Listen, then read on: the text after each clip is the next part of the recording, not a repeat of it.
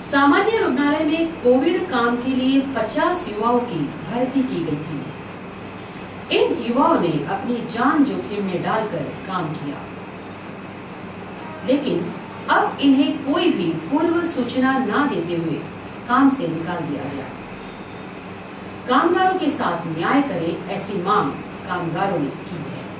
Crystal Integrate Service Private Limited इस company के काम के लिए सामान्य रुग्णालय चंद्रपुर में कोविड काम पर 50 युवाओं की भर्ती ली गई। इस कंपनी का काम 12 अप्रैल 2021 से शुरू हुआ इस कोरोना कालावधि में युवाओं ने स्वयं की जान जोखिम में डालकर कोरोना मरीजों की सेवा में निरंतर तीन महीने कार्य किया, लेकिन उन्हें कोई भी पूर्व सूचना न देते काम से निकाला गया है सामान्य रुग्णालय में किसी भी तरह की बाह्य भर्ती न करते इन कर्मचारियों को पूर्ववत काम पर लिया जाए और कर्मचारियों को योग्य न्याय दे ऐसी मांग कर्मचारियों ने निवेदन के ज़रिए की है।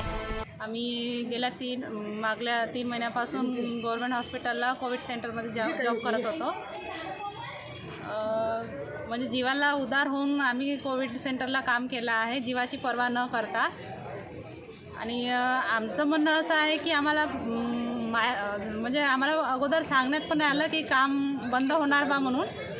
आणि न सांगता आम्हाला एकदम कॉल आला की तुमचं काम बंद झालं आहे. उद्यापासून ड्युटीवर जाणार नाही. आमचं म्हणणं हेच आहे की आम्हाला परमनंट किंवा पगार वाढ नको पण रोजगार हवा.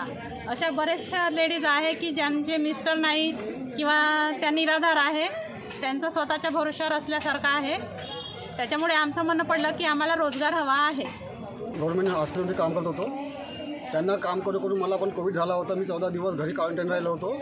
मी मलाच्या याच्यात डायरेक्ट टेकलो होतो पण मला तो साथ नाही. तर आता आम्हाला काम अचानक कामावर काम घेत टाकलं आहे तर आता आम्ही करायचं काय आम्हाला फक्त नाही का रोजगार हवा. आम्हाला ना पेमेंटची वाढ अपेक्षा आहेत ना आम्हाला परमनंट व्हायची अपेक्षा आहेत. सर फक्त आम्हाला फक्त एक रोजगार द्या. आम्हाला एक दोन महिन्याची म्हणून मुदत द्या. आम्हाला कामावर ठेवा. बस आम्हाला हेच आहे. आम्हाला कोणचंही काम द्या पण आम्हाला हो सर आम्ही निवे- निवेदन आता बनवले आहे आम्ही आता गेलो Solankar sir Samajkar sir sir गेलो होतो.